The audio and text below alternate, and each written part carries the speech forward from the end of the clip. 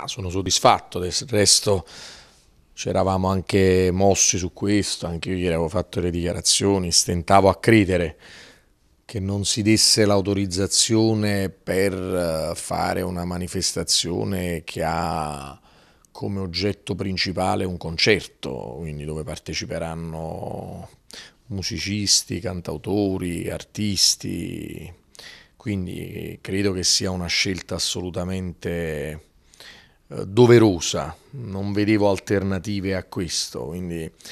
e sono anche convinto che sarà un bel momento di cultura meridionale ehm, e quindi un messaggio importante e forte che la cultura nostrana sa trasmettere oltre ogni confine. Quindi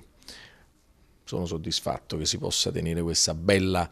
manifestazione che immagino sarà ricca di fantasia e creatività.